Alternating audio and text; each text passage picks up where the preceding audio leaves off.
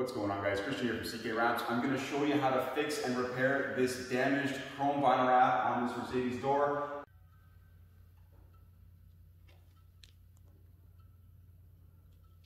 Someone crashed into a forklift, we're going to fix it up right now. We're going to spray it with some isopropyl alcohol. And we're going to need our piece of vinyl, which is right here. And we're going to take this and slap it on like that. That's it, we're done.